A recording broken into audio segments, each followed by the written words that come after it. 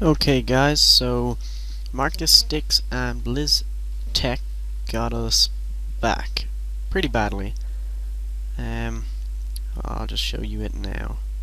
There were creeper explosions everywhere. The cows got the cows got away anyway, but there were holes in the ground everywhere. So they made all these little trees all over the place. Um, I like them. I think we'll probably get rid of some of them and leave a few. Um, they got us even though we trapped our portal. They also the reason it's like super dark um is they made a massive netherrack platform above the island that stops all the light getting down. Um so yeah, we're gonna get them back really well. And um kinda getting ready here for the death games. But anyway, enough about that. Um yeah, they they got us really, really, really badly.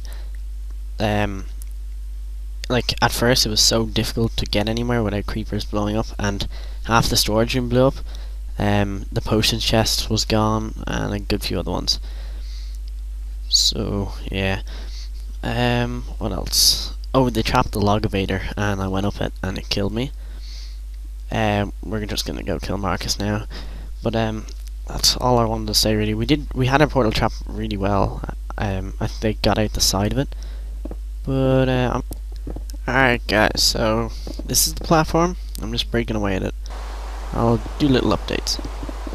Okay guys, so it's raining and I'm still breaking the platform. My pick, well, yeah. Alright guys, the platform is almost gone. My pick is very much And it's gone.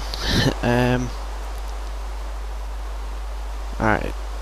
We're done. I just need to go get a pick. Come on, come on, come on. No, no, no, no. Oh, phew. And I now I just gotta get rid of these. Okay, watch this for magic. Disconnect. Oh, oopsies. Alright. One community, one family.